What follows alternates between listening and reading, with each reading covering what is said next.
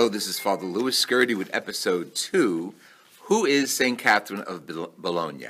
My guests are Father Steve Shadwell, who translated many of her prayers, and Monsignor Pat Panos, who in the last episode left us off planning his itinerary to Bologna.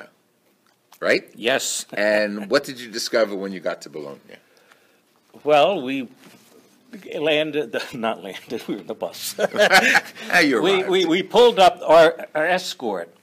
He said, You don't want to see Catherine of Bologna. There is no St. Catherine of Bologna. You want to see Catherine of Siena. So on our hijacking journey, we didn't go right to Bologna. Roy, uh, Roy and I, no, we have to go to Bologna. No, there's no St. Catherine of Bologna. We're going to see Catherine of Siena. So up we go to Siena. We take another detour up to Siena.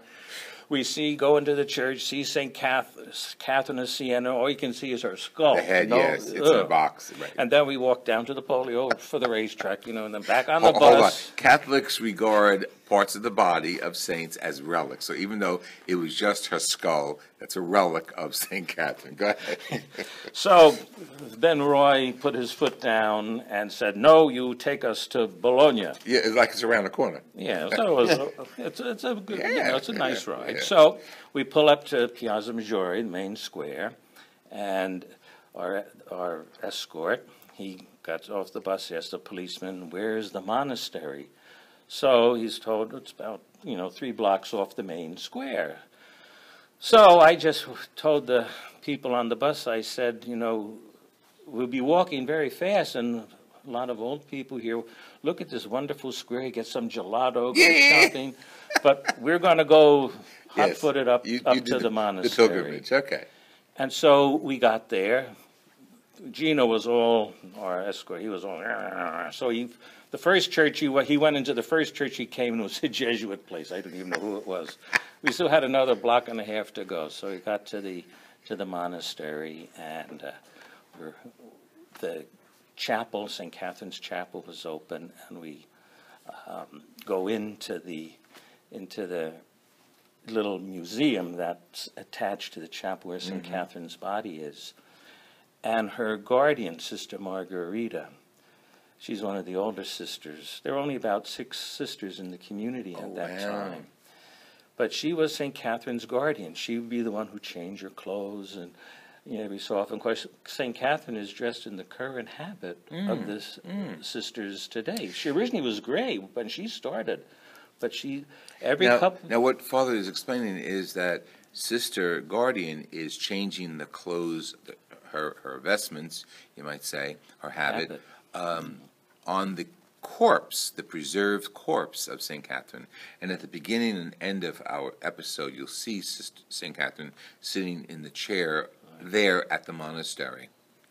Yeah, so, so anyway, she was so surprised to find out that Catherine was in America. So she, she goes running back into the, uh, into the the, the convent, the, and uh, she comes back with a bottle of uh, their bitters. Oh, really? They had their own brand. That's right. Stop it. That's Yeah, the, funny. the poor delicious. Claire. Really? Yeah, so, Poor So I had Bitters. that, and then Roy and I each got a, a re- she gave us a relic. Uh, I have, and so I have it, and uh, it's a piece of Catherine's skin. Oh, Yes. yeah. Yeah. That's, If you if you went to the monastery today, and you went to the gift shop there, what you would get if you wanted a relic of Saint Catherine would be a piece of her habit.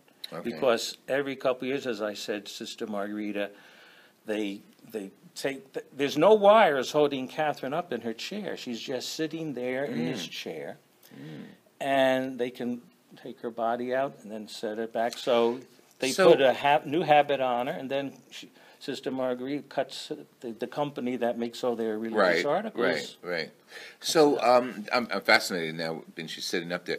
Uh, when she died, did, did she die in her chair? Was she No, no, no, That's no. quite a story. Oh, when she when she died, they buried her in the the garden, the monastery garden. Right. And I finally, after about two years ago, I finally got permission from the new Mother Abbess, took me into the real, the heart of the monastery, real cloistered part, the garden where St. Catherine was buried. Okay. Because I tried for all these years to try and get back there, but of course I No, no, couldn't. no, All I could get was here to the, the chapel. But the Medican, no. So, um, uh, uh, what was your? Uh, I wonder how How we. did she get to be in- seated? In, in that chair. Yeah, in that chair. All right. So, for the, she died in 1463, and they just buried her in the in the ground. Sure. But there was this odor sanctity when she died, and they buried her in the ground. The sisters they cleaned her all up. She was in the habit, and they just four of them buried her down Yeah. right in the ground. But her, her sister Illuminata Bembo, her her buddy, right from the very beginning in, in Ferrara when she entered the Poor Clares. She had painted a painting of Saint Catherine, and you could see when she was had when she had died, and you could see the face, how old she was, and Oh. ashen color. But when she died, the color started to come back into her face, and she mm. started to get younger and younger looking. Mm. So the sisters just buried her in the in the ground because they would get the, the bishop and some, have a proper funeral or something, but they buried her there. And she was so beautiful, the sisters didn't want to just dump the dirt on her body, so they, they put a veil, covered her face, and then they put a, a, a board all the length of her body, Mm-hmm. and they lifted up a bit, just so the dirt wouldn't crush Right, right, beautiful right, body. right. And they buried her. And then the, the saint just kept stronger and stronger. The- the scent, the Yeah, the scent. scent. Okay. And, but, the- and the sisters, when they, they'd go out, because they were all said, they, er, they loved her. And all the sick sisters were healed, all these miracles were happening. The people out in the city started hearing about this, and so the bishop said, no, the sisters said, we have to exhume the body. Mm. And uh, the one priest chaplain said, well, if it's decayed, then, yeah, Yeah, right. bury her right back up again. But of course, when they, the- her four s- sister companions, they couldn't wait to the official day. So the night before, they went out into the garden. It was very dark, and it was raining and everything. But then all of a sudden, the skies opened up and shining down on Catherine.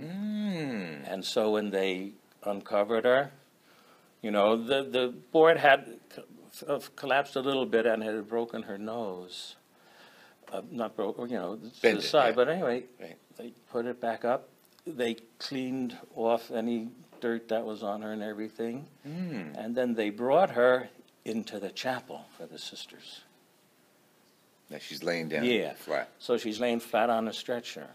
So that stretcher was what she was on for quite a few, I forget the exact, I have it written down here, I'd have to look it Yeah. up, but, but, um, she, just, what she would do for all these years, when people would want to come to the monastery to pray to St. Catherine, to ask her to intercede for them, the four sisters were assigned to carry St. Catherine on the pallet from her room in the monastery, Mm-hmm. and then they'd have to lift the pallet Right, up like right, that. right. And then they, ha- uh, if you've never been to a cloistered monastery, you know, they have a little window where Oh, you right, can right, talk. right, sure. So they'd have to hold her up so you'd see her face Right, right. in the window.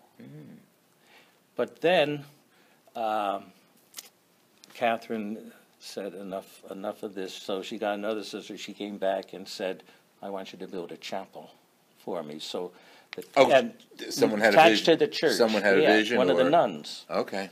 and said, build a chapel, because I don't want the nuns to have to keep carrying me when Oh, the people. stop. Yes, yes, right. she, she loved, as I said, the sisters loved her, and she loved them. She, she was so humble. She took the lowest job. She could do anything. She'd wash the dish. She, you know, that was studied her life. Catherine. Oh yeah, yeah. So, So get, get us into the chair. How'd she Oh. get into the?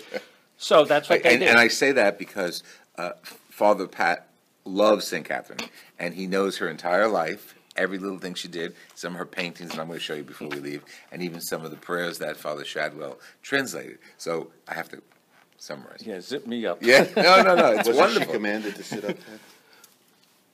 by one of the sisters? Yeah, the sisters. She was noted for her obedience.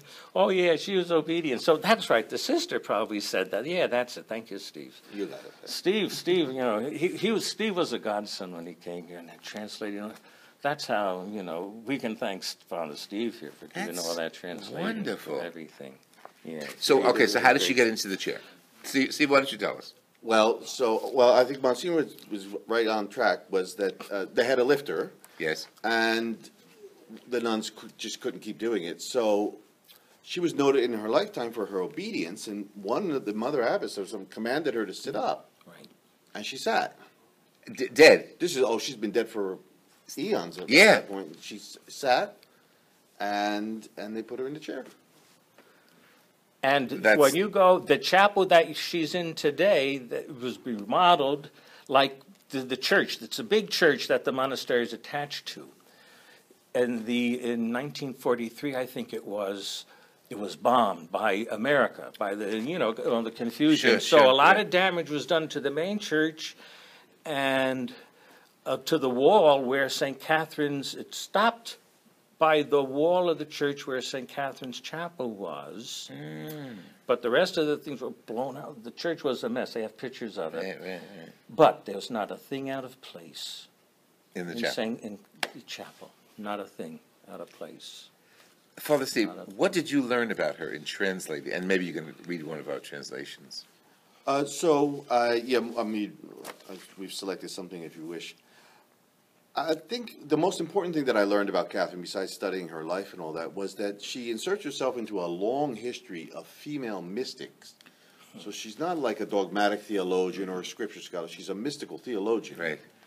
Uh, and Pat will speak more to her artistic, but as a theologian, this means that as a mystical theologian, she would get most of her theology from experiences of the supernatural and then put that down on paper. Oh, okay.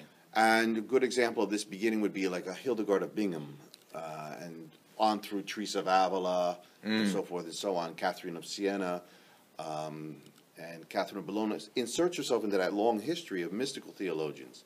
So a lot of her works are um, information that you would not be able to glean elsewhere, but it's a personal experience Yes, yes. out of yes. which she draws her doctrine. So that's the most important thing. And of course, she sets she puts herself in that group of female mystics that have the the mystical marriages with Christ. Yes. Uh, the metaphors she uses a lot of metaphors. Uh, spiritual her spiritual gardens, her spiritual weapons. Teresa of Avila's uh, rooms of her castle. Right, very Catherine Bien, uh, uh, Hildegard of Bingen also uses garden imagery uh, for her uh, spiritual journey. So that's I think that would be the most important thing I learned about. Right. Uh, And, and we're going to pick up again, but uh, give us one of the prayers of St. Catherine. And while you're preparing that, I have to sh- just comment on this painting, eh, Dipinta de San Caterina de su uh, Tavola de Legno. It's a uh, painting by St. Catherine uh, on wood. It is a beautiful picture, and, and I'll have a better image of this uh, before, at the end of the show What is it? Um, of Mary, the Blessed Mother, and baby Jesus. And, and around baby Jesus' neck, what does he have? The cornu, the uh, whatever. I don't know if they had it back then. Yeah, whatever, Whatever Ita- interesting. whatever Italian baby had, right? it was to ward off evil spirits. I don't think that's. Yeah, these guys could appreciate all that. uh, It's it's it's the coral. It- know what time it's red coral. It's, It's uh, red coral, but I don't think it's la coral. No. I think it is. And also, uh, that Pat was showing me before, and both of you indicated, this is St. Catherine's prayer book. These are images from her prayer book. And these paintings were inserted into her breviary, into her prayer book. She painted. Her. She She paint- did the whole thing. She Yeah. ma- She made her own. book. She illuminated her own manuscript. So this is all illuminated by St. Catherine Right. and, and illustrated by St. Catherine. And the images are just so beautiful. And this is, someone else painted, but a picture of her Yeah. um, holding the veil, the Veronica's veil. But what an artist! And in a monastery, um, cloistered monastery, all her time and was for ora et labora, work Yeah, of prayer. right, yeah, But absolutely. the, this, the, the original is on display in the chapel with The the room where, where Catherine is, her original, yes. Paintings. And then, oh, yeah, yeah, not, not, not, the sisters have taken most of them down, even this one that you just showed. it's- Yes. It's not on display anymore because the colors, everything has sort of faded a bit. But the one that's in the chapel, which is really, I, I like the nicest one, uh, where Catherine is holding baby Jesus, another one, but Jesus is holding an apple Oh, very, yeah, very um, And, uh, significant. And the symbolism is the new Adam. Jesus is the new Adam. So that's, that is, that's a beautiful, but that's all there. And, Oh, well, on another thing, you can see a picture of Wow. the chapel. Steve, do you have any closing pr- prayers for us? Well, I'll just read you a, an interesting mystical experience of her about the Saturday after Good Friday.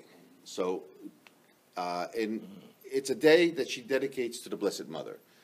And this is from, this is drawn right from her own mystical experiences, this way of the cross. So this will give you a good indication of what I mean by her theology being based on mystical experiences.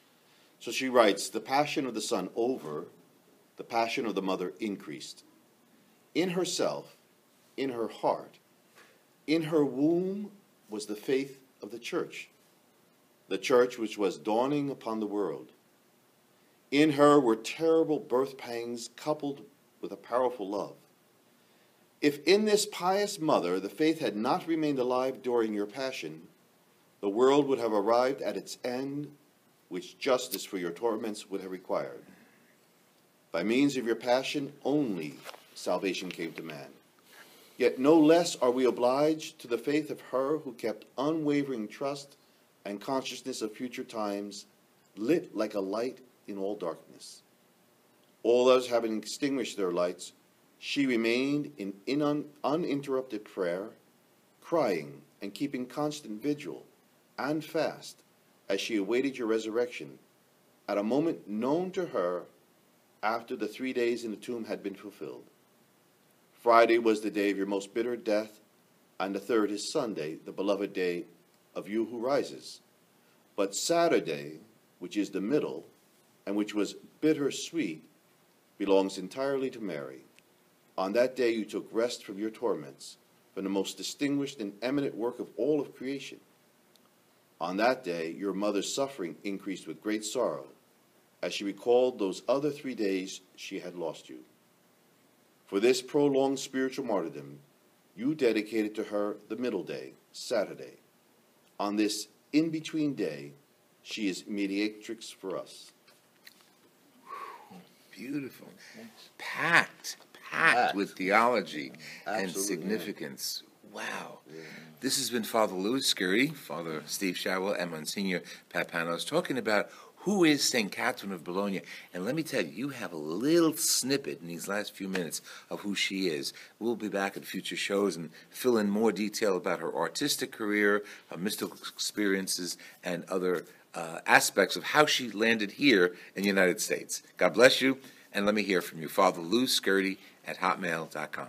God bless you.